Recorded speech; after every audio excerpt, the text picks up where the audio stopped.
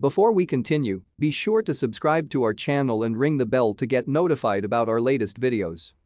We wish her the best of health now. Soloist Kwon Jinah shared how she heartbreakingly experienced anorexia and bulimia during her diet. On September 15, on her personal Instagram, she shared that she had felt the pressures of her job.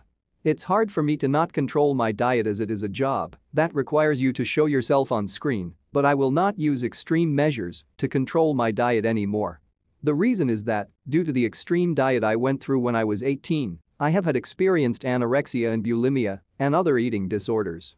I remember being unable to sleep as I was afraid, more so of the food in my stomach, rather than losing my voice. It is my sincere wish that many people will be able to escape from this pain and live healthily with their various shapes and sizes. In this photo is the body I gained after losing my sanity. I'm 167 centimeters and 48 kilograms. Back them, I thought it was so pretty, but now seeing it, I look so worrisome and like someone I'd want to feed. She shared a photograph from her past. Kwon Jinah has made a comeback with Knock recently.